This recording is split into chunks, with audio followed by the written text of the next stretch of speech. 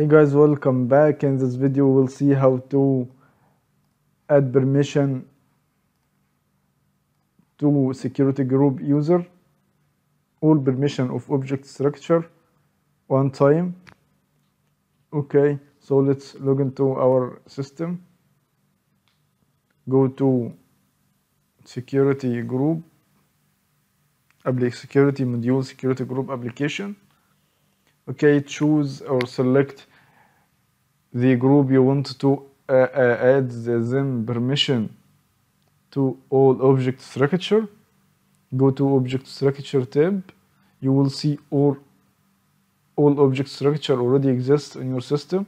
So from this option, grant list object structure, all of all of the above option give this security group and users already exist in this group all options all permission to access these object structures. One time you don't need to go to one by one. Okay. Okay save. Log out and then log in. You will access all these object structure one time. I think it's a great option in Maximo 7.6.1.3 okay that's all guys for this video. Thank you and see you soon